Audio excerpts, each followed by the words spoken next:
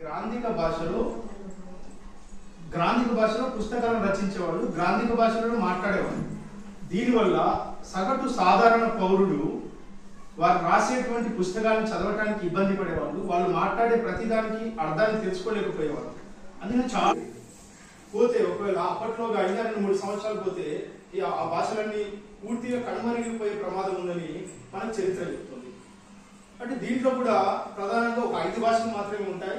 ఐదు భాషలే అలాగే శాశ్వతంగా ఉండిపోతాయి అని చెప్పి చెప్తున్నాం ఎందుకని ఇప్పుడు ప్రతి చోట కూడా ప్రతి ఒక్కరూ ఏం చేస్తున్నాం? ఆంగ్ల మాధ్యమం వచ్చిపోయింది ఇంగ్లీష్ మీడియం వచ్చింది. కాబట్టి ప్రతి ఒక్కరు ఏం చేస్తున్నారు? ఇంగ్లీష్ మీడియంలో జాయిన్ చేస్తున్నారు.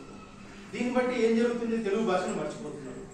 అందుకనే రెండు రకాలుగా రెండు పాఠశాలలో మనం ఆలోచిస్తే రెండు పాఠశాలలు ఒకటి మన మాతృభాషను మనం మర్చిపోతున్నాం. రెండవది పరభాషని మనం అభిమానిస్తున్నాం. కాబట్టి ఇలాంటి పరిస్థితుల్లో ఇప్పుడు తెలుగు చదివే వాళ్ళ సంఖ్య గణనీయంగా తగ్గిపోయింది. అంటే కేవలం ఇరవై ఏడు శాతం మాత్రమే ఇప్పుడు తెలుగు చదువుతున్నారు అంటే తెలుగు చదివే విద్యార్థులు ఇరవై ఏడు శాతం మాత్రమే ఉన్నారు దేశం మొత్తం తెలుగు రాష్ట్రాలు దేశం మొత్తం కదా తెలుగు రాష్ట్రాలు.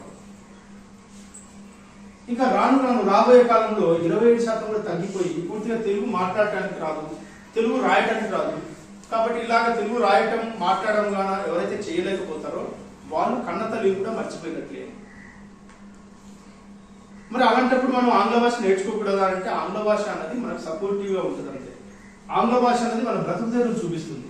అంటే మనం జీవించడానికి కాదు అది మనం జీవించేది మనకు ఎక్కడైతే స్థానికంగా ఉంటామో ఆ స్థానికంగా ఉన్న చోట మనల్ని మనల్ని నిరూపించుకోగలిగేటువంటిది ఒకే ఒకటి అది తెలుగు. కాబట్టి తెలుగులో అనర్గళంగా మాట్లాడడం తెలుగులో ఎక్కడ అక్షర దోషాలు లేకుండా రాయడం తెలుగుని ఎక్కడికి వెళ్ళినా మాతృభాషగా గౌరవించడం అన్నది మనం చిన్నప్పటి నుంచే నేర్చుకోవాలి. కాబట్టి గిడుగు కృష్ణమూర్తి పన్నెండు సంవత్సరాల వయసులోనే తెలుగు భాష మీద ఉన్నటువంటి ఆసక్తితో తెలుగును నేర్పించడానికి ఆయన చేసినటువంటి కృషి ఫలితంగా ఈరోజు ఈ వ్యవహారిక భాష దినోత్సవం జరుపుకుంటున్నప్పుడు ఆయన చేసేటువంటి చేసినటువంటి సేవలు కూడా మనం గుర్తు తెచ్చుకోవాలి. ఎంతోమంది ఆయన వ్యతిరేకించారు.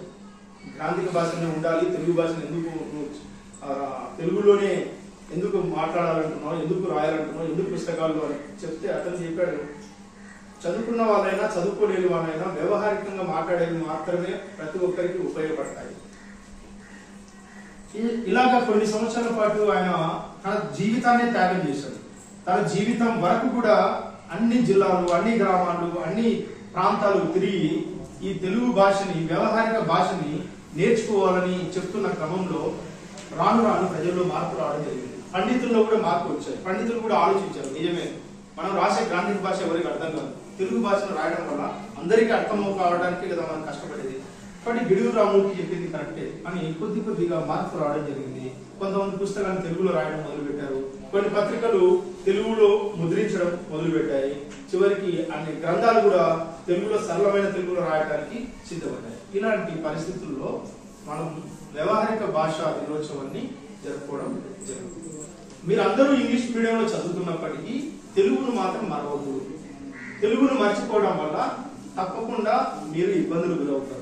తెలుగు అన్నది కూడా ప్రాముఖ్యత సాధించినటువంటి తెలుగు భాషని మనం ఎక్కడ మర్చిపోకూడదు.